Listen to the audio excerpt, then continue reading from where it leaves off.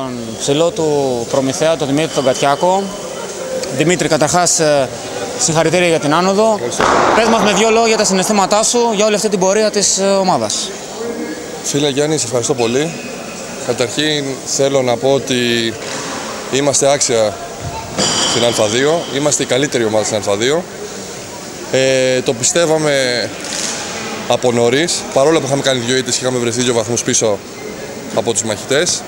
Ίσως γι' αυτό είμαστε στεναχωρημένοι τότε, αν θυμάσαι, μέσα στα πολιτήρια. Θυμάμαι, θυμάμαι πάρα πολύ καλά. Ναι.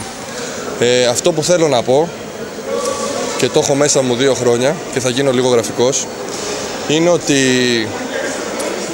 πρόπερση ο ίδιος coach με είχε επιλέξει μια ομάδα το οποίο από εκεί φύγαμε και μας χαρακτηρίσανε αποτυχημένους και άχρηστους και διάφορα.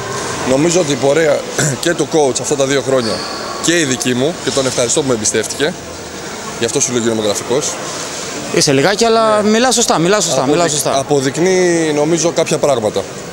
Αυτό δεν θέλω να πω κάτι άλλο παραπάνω.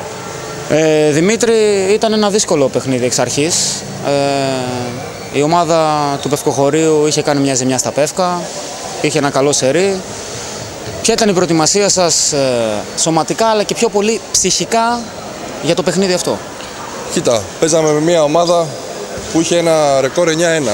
Ήταν σε πολύ καλή κατάσταση και είχε περάσει μάλιστα και μέσα το, το, τα Πεύκα εύκολα. Ε, εμείς όλη τη βδομάδα κάναμε συγκεκριμένη προπόνηση, χωρίς πολλή ένταση για να μην έχουμε κανένα πρόοπτο και νομίζω ότι είμαστε όλοι το, τέτοιοι παίχτες που από την προηγούμενη Κυριακή περιμέναμε πώς και πώς και ξέραμε πώς θα προετοιμαστούμε για αυτό το μάτς. Εγώ προσωπικά τις τελευταίες μέρες ξύπναγα με το μάτς αυτό στο μυαλό μου. Έλεγα πότε θα παίξουμε, πότε θα έρθει.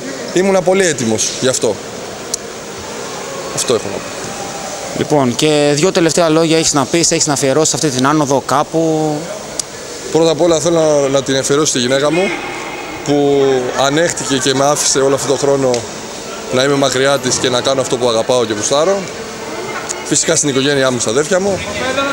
Και πάνω απ' όλα στον κόσμο, στη μαμά που γιορτάζει, ε, και πάνω απ' όλα στον κόσμο, όχι μόνο που ήταν εδώ, περισσότερο σε αυτούς που μας ακολουθούσαν σε αυτή την άγωνη γραμμή φέτος, στο Βόρειο Όμιλο, στο Βορρά. Σας ευχαριστούμε πολύ Μίτσο και συγχαρητήρια.